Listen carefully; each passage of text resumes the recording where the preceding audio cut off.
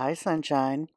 It's week 15, and I didn't quite wait until the very last minute this time, but we're probably talking, you know, last five minutes or so.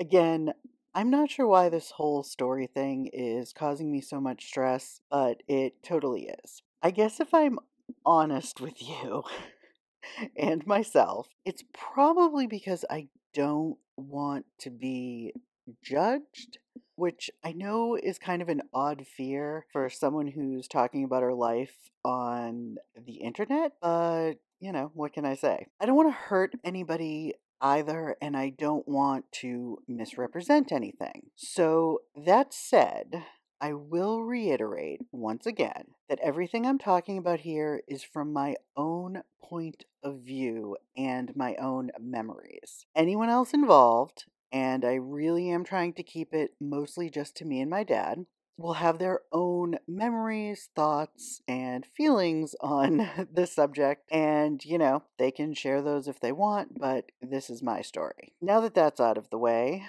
let's continue. I was just about to enter college when I stopped the last time. Something I didn't mention, but I'm guessing a lot of older siblings have probably gone through this too. To a certain extent, I still am. One who had to kind of push for all the privileges. The word harp. She said I would harp on things. Google says is to talk or write tediously on a subject. The drawback to that turned out to be that I was the one who got blamed for everything. At least these things coming up. My dad bought me my first car in exchange for commuting to college. I went to BU and we lived pretty near miles wise. Of course, you know, Boston traffic. It would take a while in the morning, but we were pretty close. So that was fine with me. I actually didn't want to live in a dorm, and I did want to continue working. During college, both my parents had restaurants. So I wanted to keep working and making money. Downside of the car was that for literally 10 years, and really it's actually longer than that, he would bring up that I forced him to buy me a car and it's my fault he had to pay for mm. cars for me and for my brother, who, by the way, didn't commute to school, but again, little brother. Things are always easier in that way. They don't have to push as hard. Sorry, if if that's untrue, please, younger siblings, let me know. To be perfectly honest, I'm sure I did try to push slash guilt slash encourage slash finagle uh, him into giving me a car. We came from a pretty nice area, and at the time, there were a lot of kids in my class getting cars for like their birthdays and things, junior and senior year of high school, and it didn't seem like that big of an ask. That said, it seemed to me at the time, mm-hmm. and more so now, that there was always a price to my dad's love. Or rather, instead of just wanting to give his family everything he didn't have, he wanted his family to have everything he didn't have. But he expected mm-hmm. some form of payment. And for me, what he seemed to want was obedience and genuflection he was actually still bringing up the car thing within like the last two years. That's 25 years of being upset he mm-hmm. bought this car. It didn't matter how many times I thanked him for buying the car or apologized for, I'm going to say, quote, forcing him to buy the car. It was just never enough. Like I never had enough contrition or enough gratitude. And this will kind of be a theme. I'm going to try and speed run through a lot of this because, like I said, it's a theme and, you know, it's not the most fun to poke at. So I worked full time my whole way through college and I graduated with honors a semester early, I might add, so saving that semester of uh, college tuition. But at my graduation, he asked me why I couldn't be more like the valedictorian of my college within the overall college of BU. And when I was writing this up, I wrote this long and involved paragraph about how she and I were different people and blah blah blah, which we really were. Like I I didn't spend a lot of time with her, but I knew her cuz it was a really small college and we had zero in common. That's just that's kind of what I realized like I wasn't more like her. I couldn't be more like her because we have very different views on the world and we had very different things we wanted. There was always that why couldn't you be better? If you were something else, you would be better. That was not really fun on graduation day. When I wanted to take an internship with Disney, so basically do the internship during that kind of free semester that I had, it was a dream job because I mean Disney and interning in college just seemed perfect. But he called me a selfish B word for quote unquote abandoning him and the business. It was we fought a lot about it before I was able to go. In a way, he actually got his wish though because a little less than halfway through, I got a late night call that my aunt had been rushed into surgery for a heart transplant. And they were kind of worried about if she was going to make it, if how long that would be. I went to my bosses at Disney and said, you know, I had this family emergency mm-hmm. and they let me out of my contract so I could go home. Now, because I came home from Disney early, I was able to spend Easter with him and my great aunt. I don't think staying would have netted me much more, but by going home, my aunt actually lived way longer than anybody thought she was going to. So, yeah, I'm I'm really glad I went home. That it meant a lot to her and to him and I really appreciate that because I love that. Every horrible thing I'm going to summarize.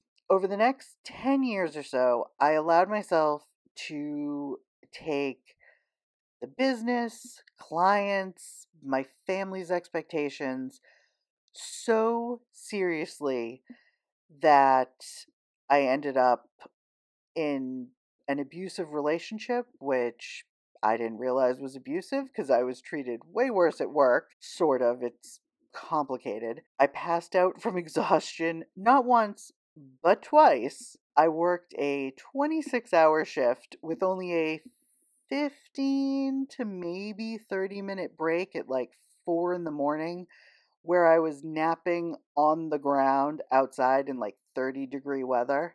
And I ended up with such a high fever one time that I was ignoring because I thought I needed to work.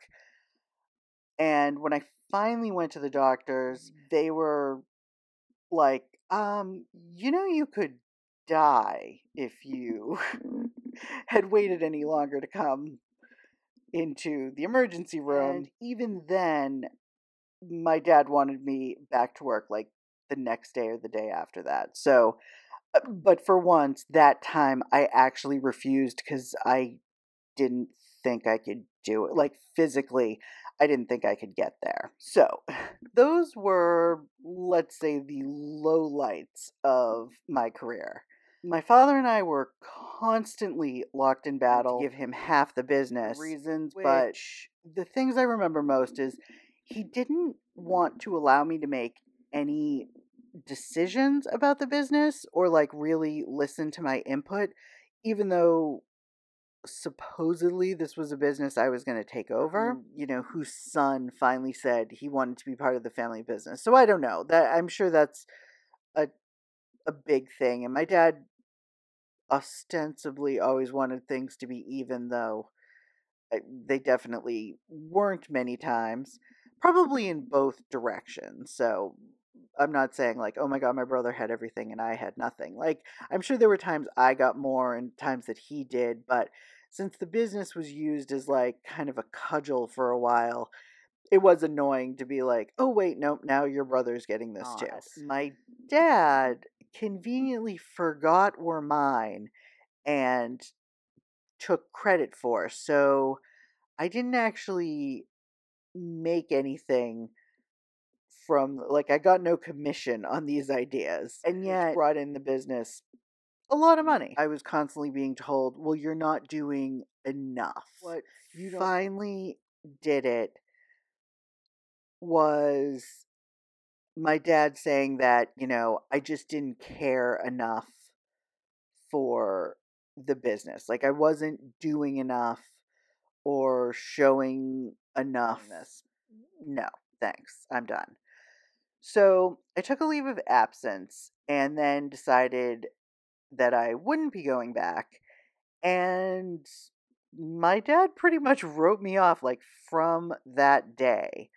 He just, what I heard later was that he just was like, all right, well, she's fired and she doesn't get anything. So I was like, okay, so 15 plus years of work and nothing. Okay.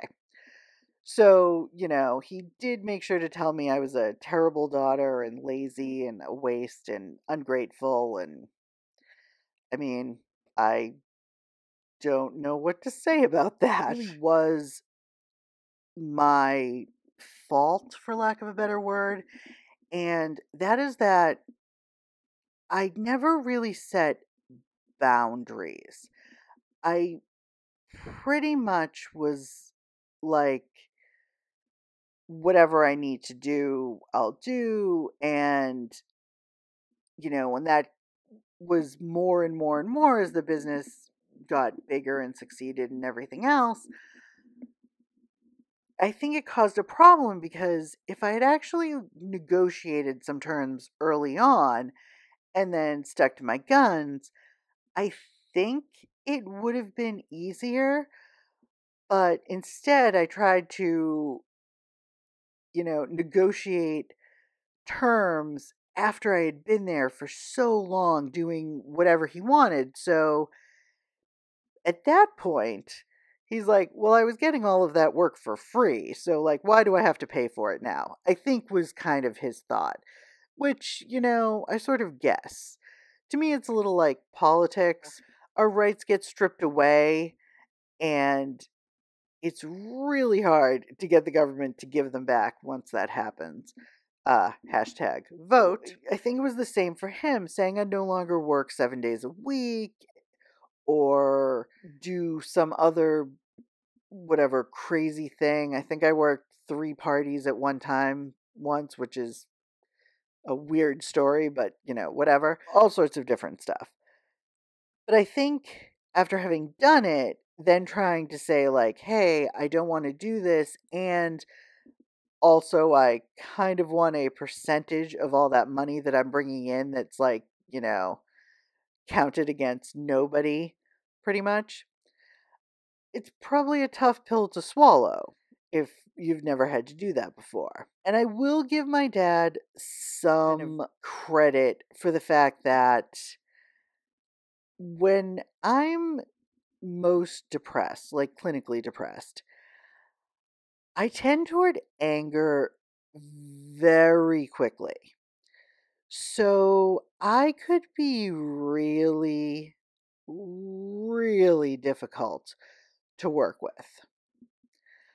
I felt justified at the time, but as, you know, more of an adult now, I see that it really wasn't justified. Leave the video on a bit of a positive note, which is it's kind of positive, but maybe a little melancholy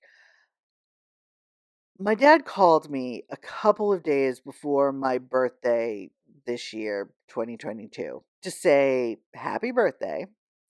And that in case he forgets, because, you know, his mind has been a little foggy, he wanted to say he was thinking of me on my birth minute, which was always a thing for us because apparently I was born at 8:23 p.m. and the nurse came in late. So he said, you know, she was born at 8:23 and the nurse looks up and it's 8:25 and she's like 8:25 and he's like 8:23. So he always like it's like he wanted me to know like no no no no I was there. I know the time. So it's been a thing for us for years and yeah, so he called and he actually did remember to call that day. Want a bit of a head start. You can spend this week coming up with your own story. Like, what are the kind of important things that happened to you growing up that maybe you're noticing are reoccurring themes in your life? Think about it and let me know what's going on with you in the comments. Until then, send out more love than hate. Hug a hypoallergenic puppy and live, laugh, and shine. Bye.